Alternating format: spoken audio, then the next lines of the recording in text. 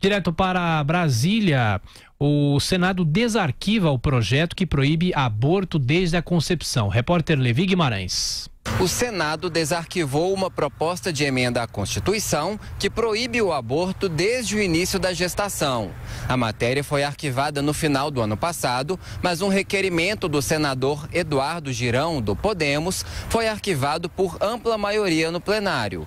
Com isso, a PEC volta a tramitar na casa. O senador Eduardo Girão argumenta que o objetivo é assegurar a atual legislação sobre o aborto, que só é permitido em três casos: estupro, risco de vida para a mulher e anencefalia. Segundo ele, nenhuma alteração na lei será feita. Ela não tem nenhuma é, vontade de modificar a legislação atual.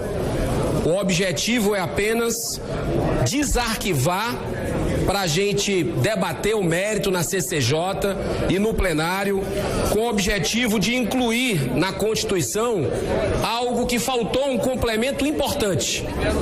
Se nós reclamamos que hoje estamos tendo muita violência no nosso país, e é verdade, o princípio da violência começa no aborto. A votação também foi uma resposta ao Supremo Tribunal Federal, devido à possibilidade de novos casos de aborto serem permitidos pela Corte em julgamento que pode acontecer neste ano como indica o líder do PSL, senador Major Olímpio. Essa PEC, esse desarquivamento, é para enfrentar, sim, ativismo judicial do Supremo.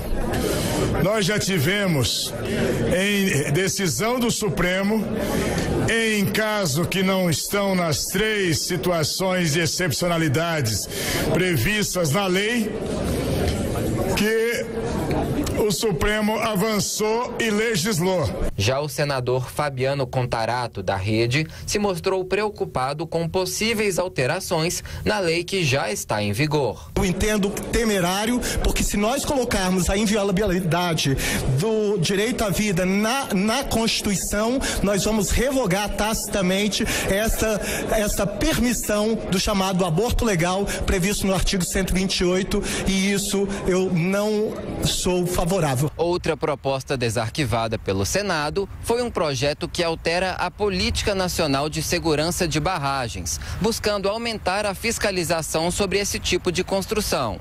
Além disso, o presidente Davi Alcolumbre confirmou no plenário que vai ser instalada uma CPI para investigar o rompimento da barragem de Brumadinho.